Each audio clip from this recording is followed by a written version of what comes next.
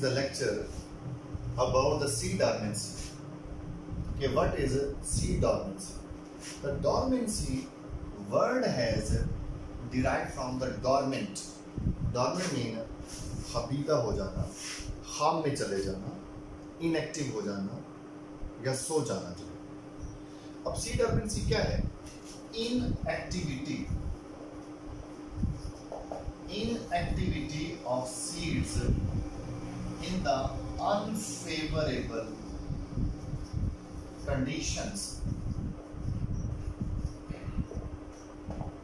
Inactivity of the seeds. Seeds का inactive हो जाना कब अनफेवरेबल कंडीशंस के दौरान यानी कि जब हालात खराब हो जाए फेवरेबल ना हो उससे मुराद है कि जैसी कंडीशन प्लांट्स को चाहिए इतना टेम्परेचर वो एयर वो वाटर चाहिए, अगर उसको ना मिला तो उसके हालात ख़राब हो गए। तो अनफेवरेबल कंडीशन में सीड्स अपने आप को बचाने की खातर प्रिजर्व करने की खातर डॉर्मेंट हो जाएगा इनएक्टिव हो जाएगा। जैसे हम कहते हैं कि गंदम हम घरों में जाकर स्टोर कर लेते हैं कंटेनर्स के अंदर। वहाँ बड़े बड़े सीड ग्रो नहीं करते। हाँ जब अगला सीज़न आएगा, साल के बाद, जब हम उठाकर दोबारा उसको ज़मीन के अंदर डालते हैं, वो टेम्परेचर वो साइल वो वाटर वो वेदर कंडीशन जब उसको जाकर मिलती हैं, तब जाकर वो ग्रो करता है, वरना वो सीड जब तक कंटेनर के अंदर रहेगा, वो अनफेवरेबल कंडीशन हैं। वहाँ कंटेनर के अंदर सीड ग्रो नहीं करता, इसे कहते हैं सीड डॉर्मेंसी सीड डॉर्मेंसी का बड़ा फ़ायदा है। उसका फ़ायदा ये है कि जब हालात ख़राब होंगे सीड अपने आप को बचाने की खातर खाम खा जर्मिनेट नहीं करेगा जर्मिनेशन शो नहीं करेगा इनएक्टिव रहेगा, ताकि आने वाले अपने फेवरेबल कंडीशन के लिए अपने आप को बचा के देन इसके साथ कहते हैं कि एक ऑक्सीजन हार्मोन है, कल भी हमने इसको पढ़ा था। Oxygen is responsible for the fruit setting fruit की सेटिंग के लिए, फल के लगाने के लिए ऑक्सीजन का होना वो लाजमी है। क्यों भाई? कल भी हमने कहा था प्रीवियस लेक्चर के अंदर this one is the carpel stigma style ovary ovary के अंदर ये अव्यूल है और अव्यूल के अंदर लेट से उसका एग पड़ा हुआ है। देन ये उसके साथ स्टेमन है स्टेमन में फिलामेंट ये ऊपर एंथर एंथर के अंदर उसके पोलन ग्रेन्स है।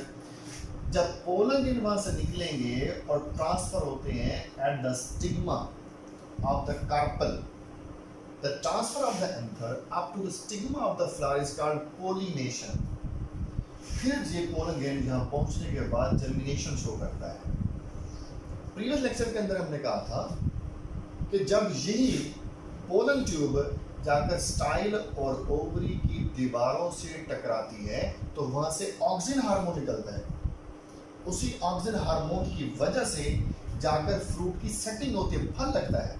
यानी कि अगर किसी प्लांट के अंदर ऑक्सीजन का लेवल लो हो जाए तो वहाँ पर उसकी फ्रूट की सेटिंग नहीं होनी, उसका फल नहीं लगेगा।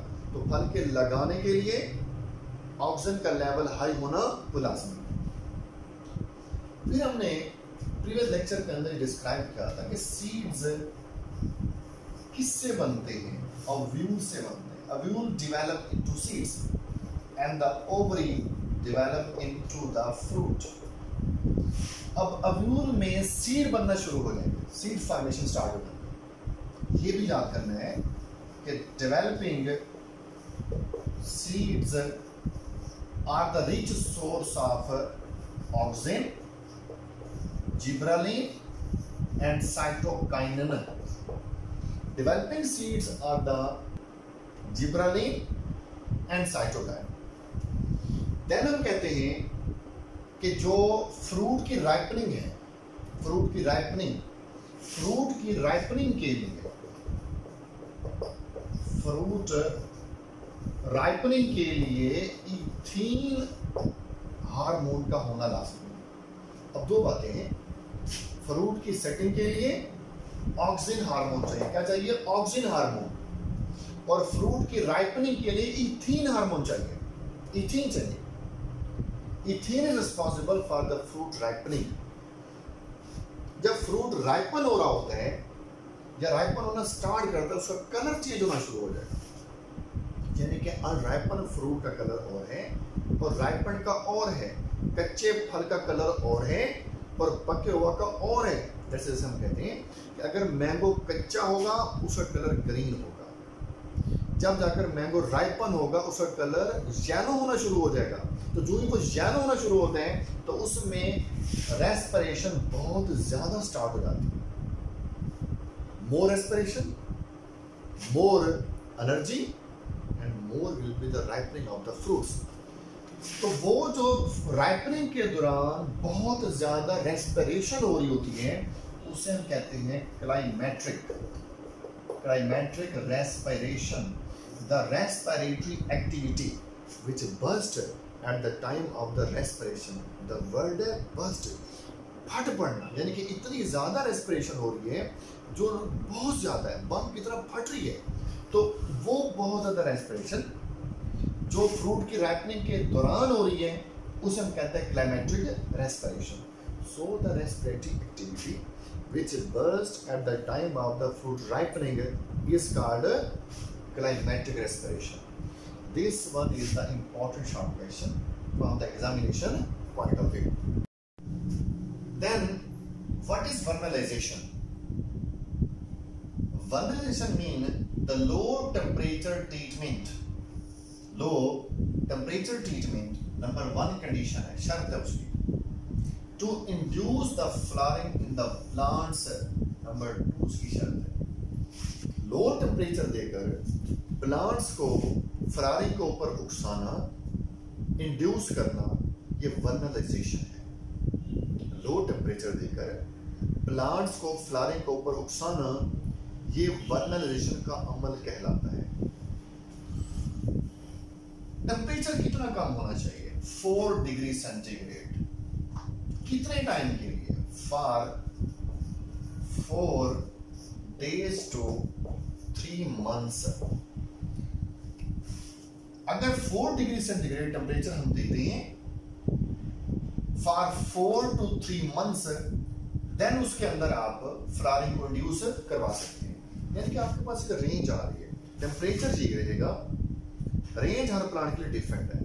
किसी को फोर डेज़ चाहिए, किसी को वन वीक चाहिए, किसी को वन मंथ चाहिए। तो वेरिएबल है।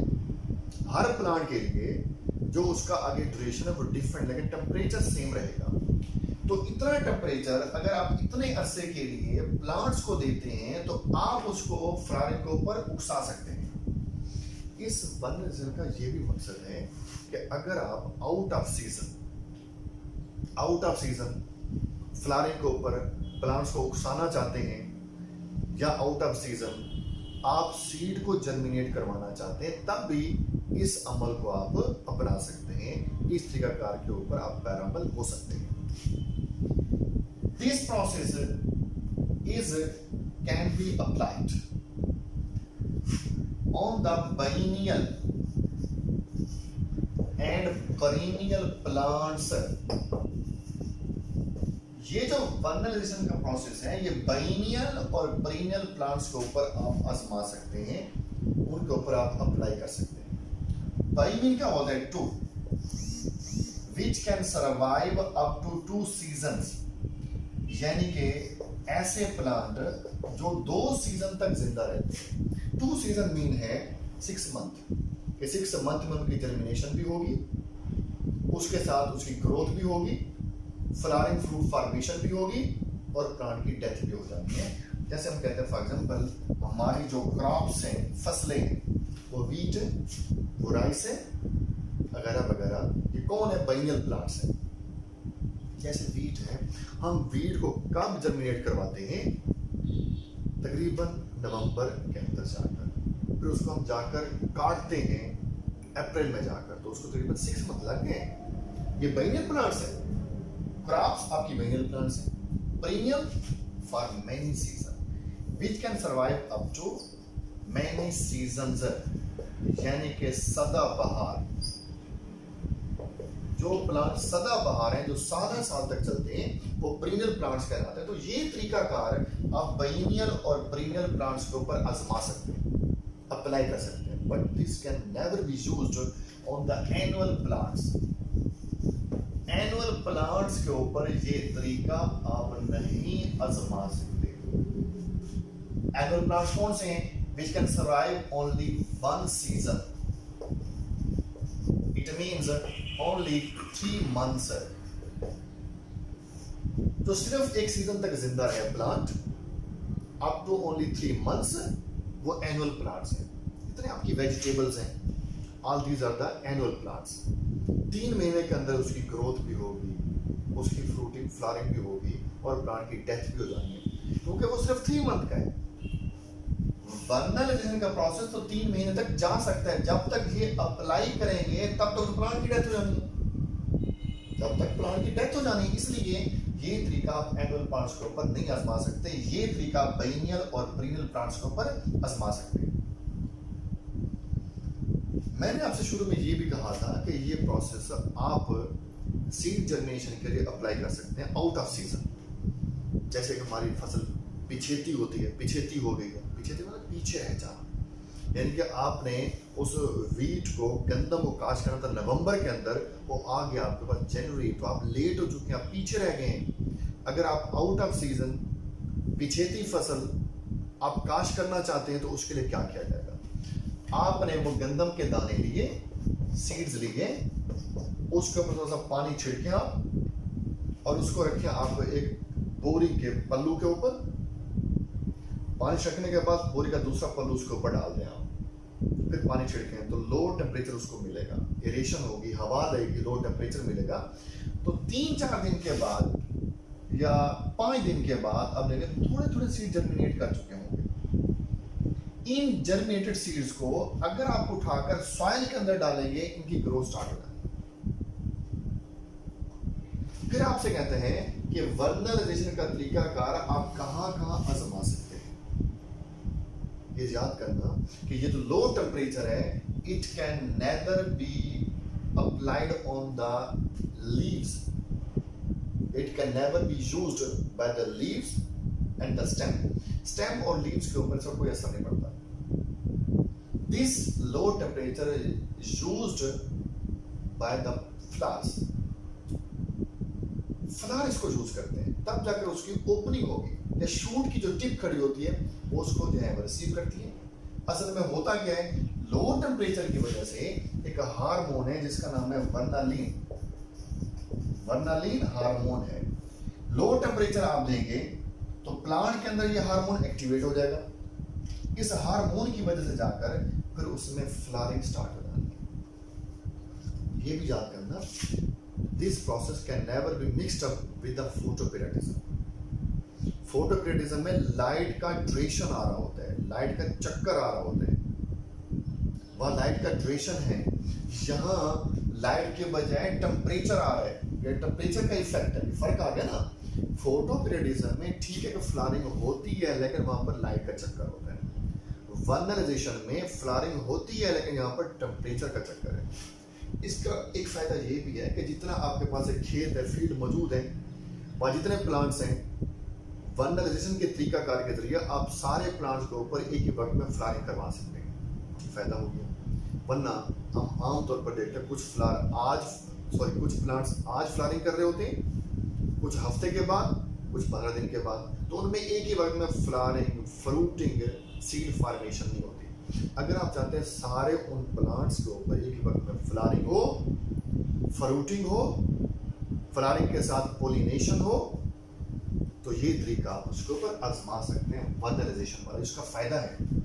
यानी कि सारे जो प्लांट्स आपके ऊपर पास मौजूद हैं वो एक ही वक्त में उसके ऊपर फ्लारिंग हो सकती है। ये उसका फ़ायदा हो गया।